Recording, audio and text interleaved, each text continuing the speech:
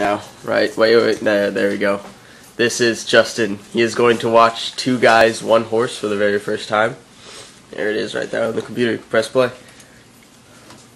I don't think you're allowed to actually show this via via the tubes. And it's only 50 seconds. Starring Mr. Hands, you're about to get fucked. Let's blast that volume.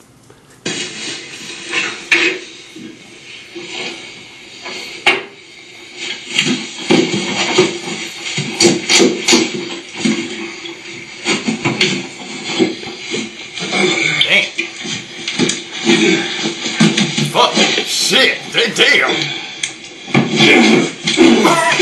Damn.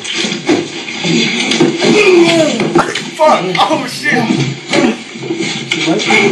Oh god.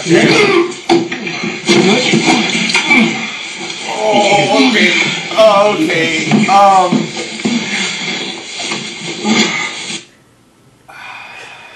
Yup. That's the way it is.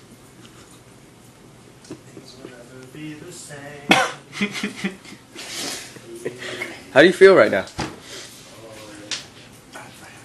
Still turned on.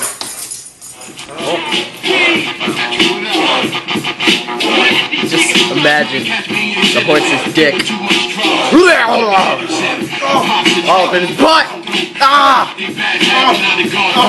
Spreading open his intestines,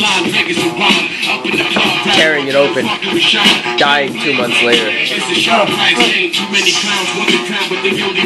That's worse. That's worse than goosh goosh. That's not Well, yeah. that should be- Yeah, it kinda is.